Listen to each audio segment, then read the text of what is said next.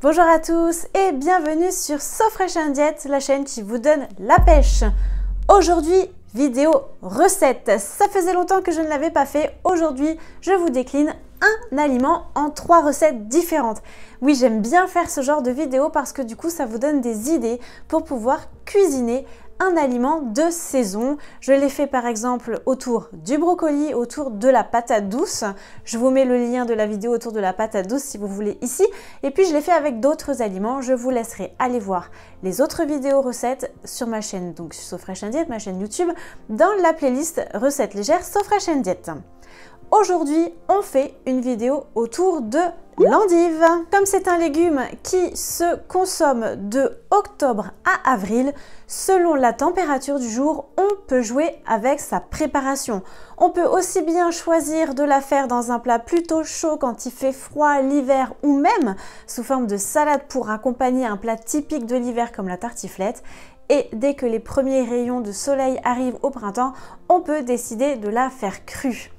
J'ai choisi l'endive parce qu'elle est très facile à cuisiner et qu'elle est idéale pour euh, des recettes rapides. Je suis Solène Benimeli, diététicienne, nutritionniste, spécialiste de votre amincissement durable et sans régime. Et justement, mon mantra, on va dire, c'est que mincir avec plaisir, c'est possible, qu'il est tout à fait possible de cuisiner des choses saines, de cuisiner des choses gourmandes et délicieuses quand on a aussi euh, peu de temps, d'où aujourd'hui cette recette autour de l'endive. Vous pouvez découvrir ma méthode d'accompagnement sur mon site internet www.solène-benimeli.com. Alors aujourd'hui, autour de l'endive, je vous propose premièrement une tartinade avec un houmous maison. Deuxièmement, une salade vraiment fraîche, gourmande et dynamisante. Et troisièmement, un plat chaud, une endive rôtie au miel et pignons de pain. Avant de commencer les vidéos recettes, je vous propose un point nutrition autour des intérêts, des valeurs nutritionnelles de l'endive et de son intérêt santé.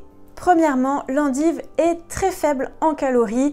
Elle fait donc partie de vos alliés minceurs numéro 1. Elle est vraiment topissime puisqu'elle n'a que 4 grammes de glucides pour 100 grammes. C'est moins de la moyenne des légumes générales et en plus par sa texture croquante quand elle est crue et sa richesse en fibres, ça lui donne un côté très efficace pour la satiété. Donc elle est très satiétogène et en plus très très faible en calories. Son véritable intérêt nutritionnel, c'est sa richesse en vitamine B9 qu'on appelle aussi l'acide folique.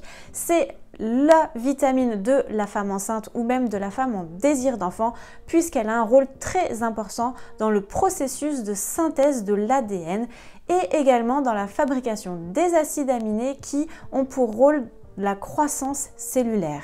L'endive contient aussi du potassium. Le potassium est un minéral qui a pour rôle l'équilibre entre les concentrations intra- et extracellulaires, donc pour le, bon échange en fait hein, des substances entre les cellules. Et le potassium a aussi un rôle très important dans la contraction musculaire et dans le message nerveux. Alors l'endive, elle contient aussi deux antioxydants puissants, le zinc et le sélénium, deux oligoéléments qui ont aussi un rôle important dans l'immunité. Voilà, vous savez tout sur les intérêts nutritionnels de l'endive. On passe tout de suite au tuto vidéo pour réaliser mes trois recettes So Fresh and Diet et So Gourmande. Allez, c'est parti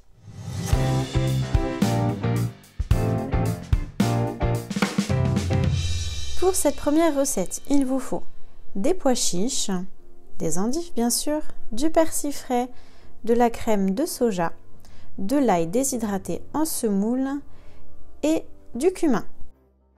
Ici, pour réaliser un plateau de tartines d'endives, j'ai utilisé 5 cuillères à soupe de pois chiches. Vous versez de la crème de soja de façon à bien recouvrir les pois chiches. 2 cuillères à café de cumin et une cuillère à café d'ail et un petit bouquet de persil frais. Vous mixez le tout jusqu'à l'obtention d'une texture homogène. Et moi, j'ai laissé un petit peu de morceaux. Je trouve ça plus agréable et plus sympa pour les saveurs. Une fois que le houmous est réalisé, il vous faut simplement en disposer sur des feuilles d'endive qui vont servir de toast.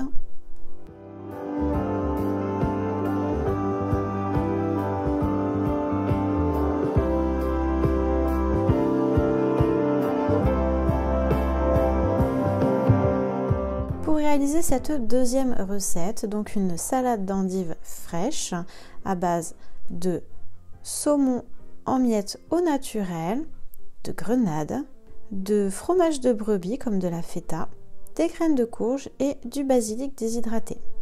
Il vous faut simplement émietter le saumon, émietter la feta en tout petits dés.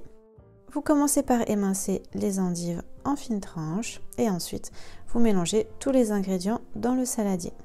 Vous pourrez l'assaisonner avec une vinaigrette à l'huile de noix, c'est super bon.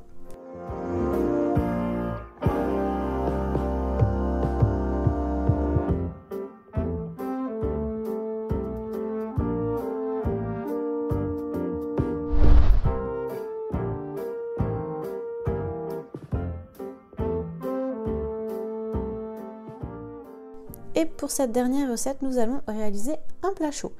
Il vous faut donc des endives bien sûr, un bouillon de cubes de légumes dégraissés, déshydratés, du miel et des pignons de pain grillés. Vous commencez par dissoudre le bouillon de légumes dans de l'eau chaude. Vous enlevez les feuilles d'endives, les premières si elles sont un petit peu abîmées. Une fois que le bouillon est bien dissous, vous en mettez sur les endives et dans le fond du plat. Vous badigeonnez les endives de miel et vous y versez des pignons de pain grillés dessus.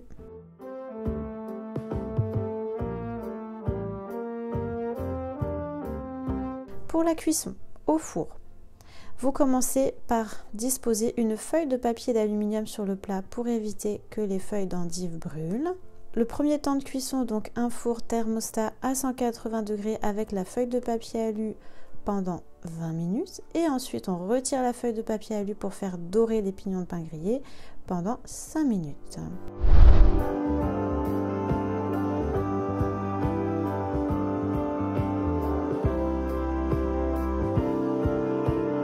Et voilà, c'est fini pour ces trois vidéos recettes. J'espère qu'elles vous ont plu.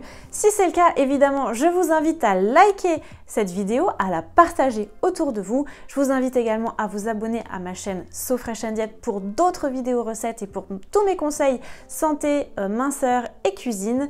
Et puis je vous dis à très vite et surtout, régalez-vous bien